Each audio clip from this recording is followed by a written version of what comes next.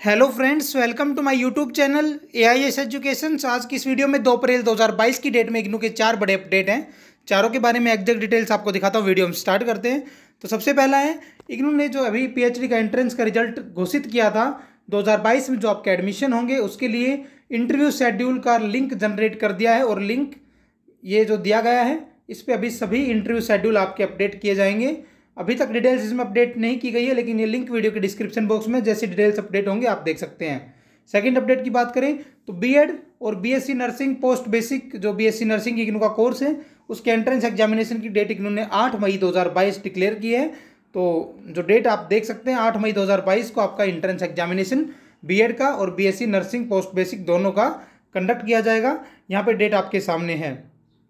Form apply करने की last date सत्रह अप्रैल 2022 निर्धारित की गई है। थर्ड अपडेट की बात करें तो वीडियो में पहले ही बना चुका हूँ। 26 अप्रैल 2022 को इग्नू की थर्टी फिफ्थ कन्वोकेशन आयोजित की जाएगी।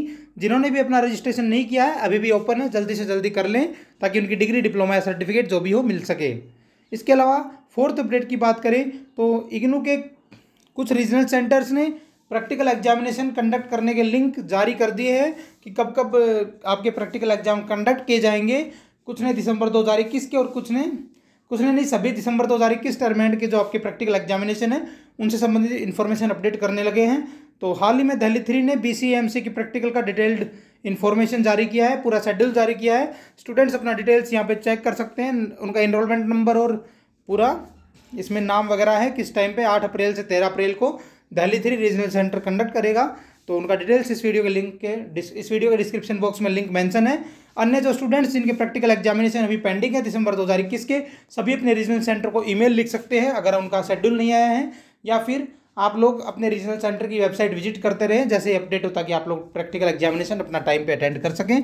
आज की वीडियो में बस इतना ही। जो भी इंपॉर्टेंट अपडेट्स है, सभी के लिंक इस वीडियो के डिस्क्रिप्शन बॉक्स में मेंशन है।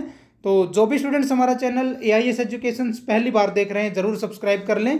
और बेल आइकन पर प्रेस करना ना भूलें ताकि जो अपडेट्स हम अपलोड करें आप लोगों तक पहुँच सके।